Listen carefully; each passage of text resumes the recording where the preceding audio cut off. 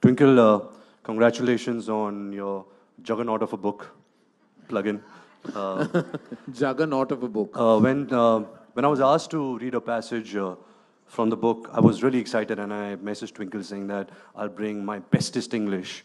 And uh, Pat came a reply saying that, don't worry, his English is as bad as yours. So just come and read. Uh, so I'm asked to read a passage from uh, The Sanitary Man and a Sacred Land. But before that, I just want to read something which is on the third page of the book, which goes like, For Akshay. Each time there is a power cut, you, my friend, always have a flashlight handy. Uh,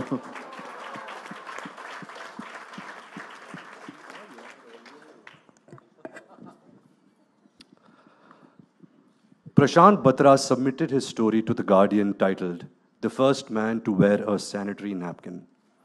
It was a four page article chronicling Bablu Kewat's journey from Mohana to Indore. And with that, troops of ruddy faced journalists wielding straw hats and bottled water, along with the dictaphones, began descending on Bablu Kewat's workshop from all over the world.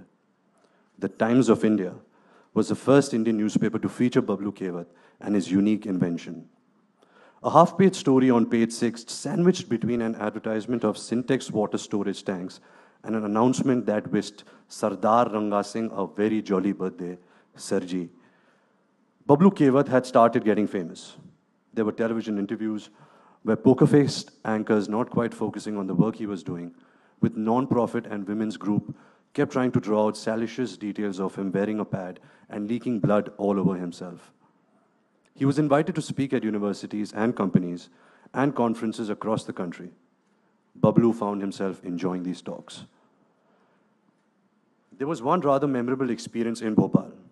It was a packed hall with a panel of dignitaries from around the world and attended by the Minister of Commerce, Industry and Employment. Bablu began his talk by pulling out a sanitary napkin from his pocket and waving it in front of the startled guest, asking, How many men have touched a sanitary pad in their life? When no one responded, he walked up to the minister and said, Well, sir, here is your chance. Come, hold this. I promise it won't bite. The startled minister looked helplessly around, waiting for someone to rescue him, and with no escape in sight, gingerly took the sanitary pad in his hand.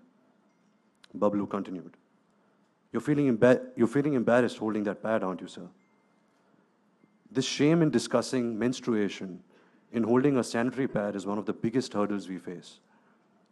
It is as if menstruation is not a natural function, but a sin that women unwillingly commit through their uterus and have to hide away from prying eyes, lest they be declared guilty of the crime of bleeding. This shame is the reason why women take their stained pieces of cloth, wash them secretively, and hang them to, to dry in places where the sun cannot spot them. Then they end up using those moldy, bacteria laden pieces of fabric and get diseases. Let us all refuse to be part of this game of shame because it is nothing but a losing game for all humanity. The audience was spellbound and couldn't stop clapping. Taking his sanitary pad back from the hapless minister's hands, Bablu added with a twinkle in his eye. And I would like to end my speech by thanking women and the menstrual cycles. Without them, this talk, along with our very existence, would not be possible. Later, laughing about the event, he confessed to Sarita. Sarita ji, I told them only 10% of women in India used a sanitary pad. Actually, I fudged the number. It is only 5%. I just added 5% more on stage because I did not want to embarrass Bharat Mata so much in front of all the foreigners. क्या कैटरीना ने acting करी है oh why कुछ कहना चाहिए कुछ कहना she is hot चिकनी शी इज हॉट चिकनी and she is my favourite क्या कैटरीना ने एक्टिंग करी है ओह व्हाई कुछ कहना चाहिए कुछ कहना शी इज हॉट चिकनी शी इज हॉट चिकनी and she is my favourite